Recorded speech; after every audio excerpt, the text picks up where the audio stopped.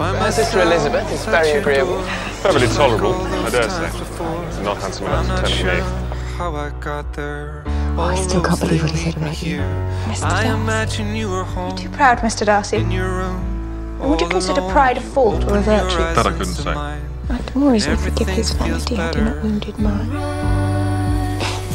But no matter, I doubt we shall ever speak again. Because we're doing our best to find fault in you. My good opinion, once lost, is lost forever. Dear, I cannot tease you about that. What a shame, for I dearly love to laugh. Mr. Darcy? Miss Elizabeth?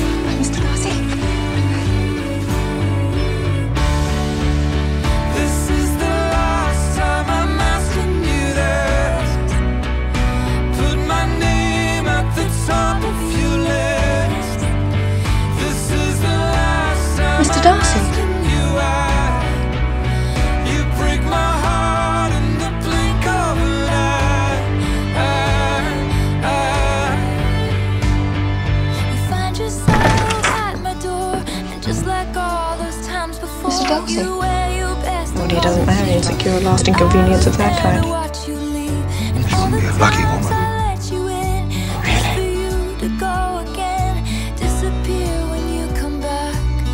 Everything is better and right before your eyes.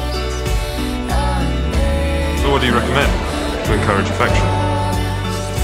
Dancing. May I have the next dance, Miss Elizabeth? May. If one's partner is barely tolerable.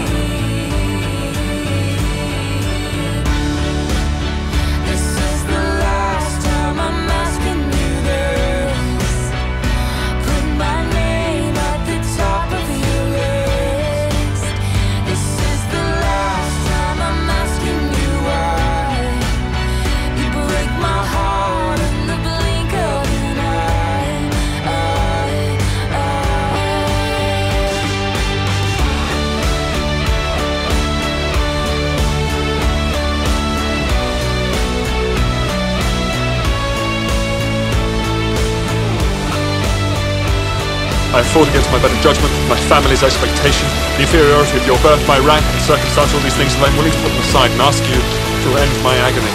If your feelings are still what they were last April, tell me so at once. I've got it wrong. I don't understand. I love you. Last time I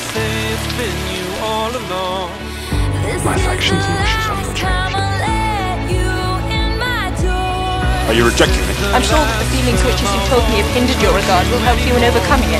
You have bewitched me, body and soul, and I love you. I love you. I love you. Such different accounts of you is puzzling me exceedingly.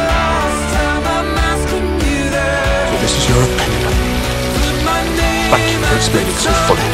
Perhaps these offences might have been overlooked had not your pride been hurt by my honesty in admitting scruples about our relationship. Will you promise never to enter into such an engagement? I will not, and I certainly never shall. Are the shades of Pemberley to be thus polluted? You expect me to rejoice in the inferiority of your circumstances? And those are the words of a gentleman.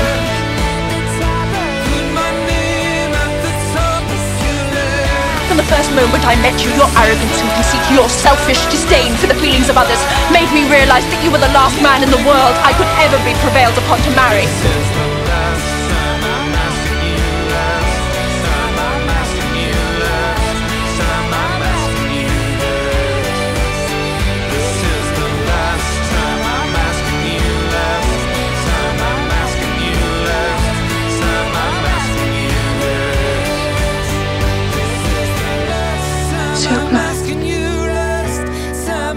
So He's not proud. I was wrong. I was entirely wrong about him. This is the last time I'm asking you last I love him. time I'm asking you last time I'm asking you